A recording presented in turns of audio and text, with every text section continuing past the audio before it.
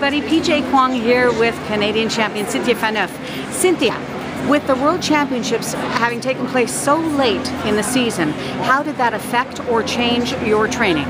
Um, for sure it affected my training before the the the, uh, the World, but for now um, I'm good. Like I had my vacation after I went to Mexico, I had some good time off, so I was uh, good to start again in, uh, in practice. Uh, I was very happy to go back to training, and for sure it has been a very long year and a tough year. It wasn't the easiest for me, but I think I'm more ready than ever to go back to competition and you know I have this amazing year that I think I'm gonna have. Wonderful. And in the Cynthia Phaneuf story, history made today with you landing your first triple loop in the short program. Tell me how that felt. Uh, very good. You know, it was the first time I was trying a triple loop in the short program. We used to do a triple toe and the triple lutz with the double axel. Um, good. You know, it was good in practice. We just had it, I think, two weeks ago, two weeks ago. So it was brand new, but I'm very happy to see that it was easy for me to do it out there.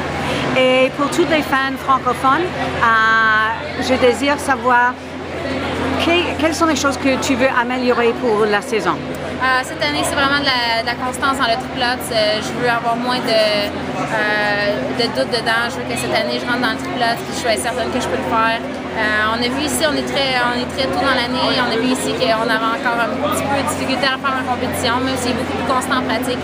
Alors, on veut trouver un moyen que ça n'arrive plus et qu'on soit confiant autant que les autres pour cela. C'est parfait. Merci beaucoup, Cynthia. Thank you very much, Cynthia Phaneuf.